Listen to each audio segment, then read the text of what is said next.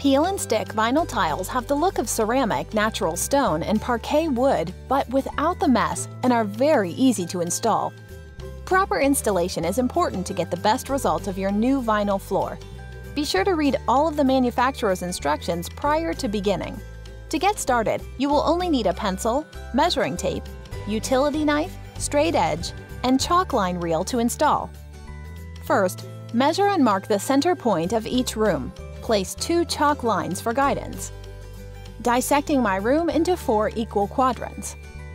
The first tile will be square with the corner of the two intersecting lines. Simply peel the paper backing on one corner, place tile and stick to the floor. Then press the tile firmly into place. Continue peeling and sticking full tiles following the quadrant guideline and square off with the edge of the previous tile.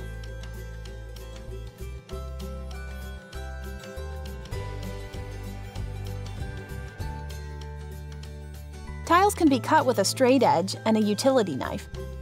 Simply score the tile, bend, and snap. It is advised to cut on a surface that permits possible damage by the utility knife. Always keep factory edges together, and whenever possible, it is advisable to place the cut tile edge under wall molding. Peel and stick tiles create a beautiful new floor in just a few simple steps.